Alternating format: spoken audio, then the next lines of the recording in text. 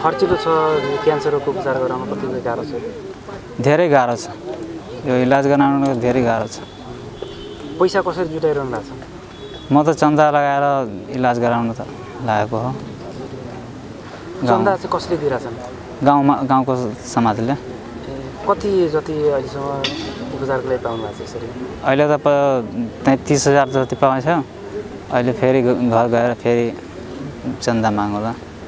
जस्तो गाउँ घरमा गएर चाहिँ उहाँहरूसँग चाहिँ अब मेरो यस्तो रोग छ भनेर मागिरहनु हजुर। कुन ठाउँ भन्नुभयो तपाईँले? जनकपुर। जनकपुर कुन गाविस? महुवा कपिलेश्वर परको महुवा। त्यहाँ चाहिँ गाउँ छ। हजुर। यहाँ भरतपुर आउनु भएको छ कति समय भयो? चार महिना। चार महिना भयो। यतै बस्नु भएको छ अहिले? होइन घर इलाज गरेर त्यो केमो लगाएर फेरि घर जान्छु। तपाईँ चाहिँ कुन भागमा के समस्या भएको छ? पेटमा छ लेट्रिनको रास्ता रास्तामा छ। अनि के गर्नुहुन्छ जनकपुरमा? तपाईँको पेसा चाहिँ के छ?